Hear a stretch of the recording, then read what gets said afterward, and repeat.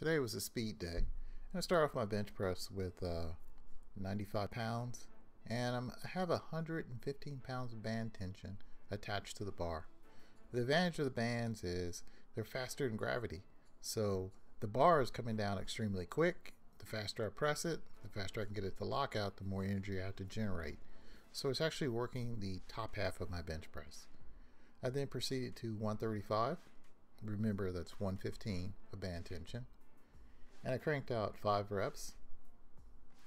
Now today I'm not going to go extremely heavy. I'm just going to work on moving the bar as fast as I can and work on my form. I'll then follow that with uh, five sets of five with 155 pounds. If you do a speed day, you want to use a weight that's not really super challenging. I'd say you want to keep it anywhere from 50 to maybe 70% and just work on the speed and form. You don't want to turn it into a maximum effort day. Also, I'm bench pressing with a little bit closer grip.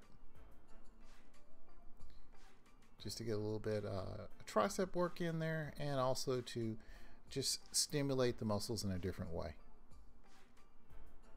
My rest periods between these sets is usually a minute or less. As you can see, my hands are a little closer to normal. Just concentrating on getting the bar off my chest as fast as I can. Then afterwards, I went to do some dumbbell flat bench presses. Not really heavy today, just uh, three sets of 12. Just get blood flowing. I'd already done bench press earlier in the week, so there was really no need to really go any heavier.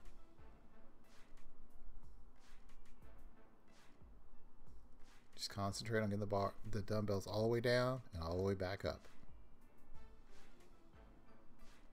The rest period between these is, I'd say a minute, maybe a little bit more, but nothing excessive. I don't really time myself. I just do them rest as long as I think I need and just do the next set.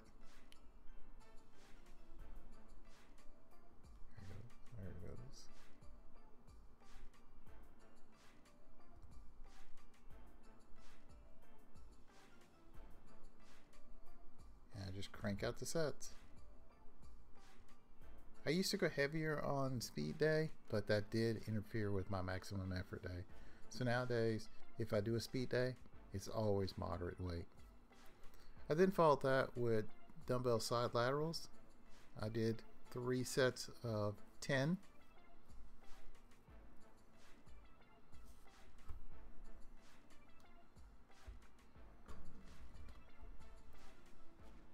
I like to do them seated nowadays.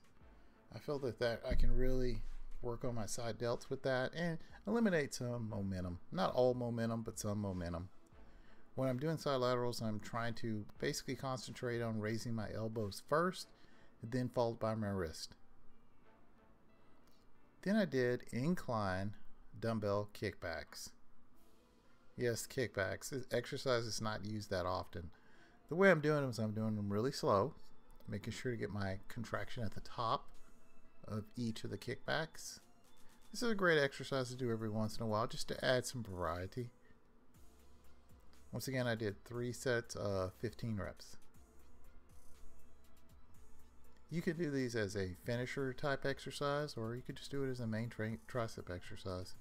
But I would go heavier if I did it that way.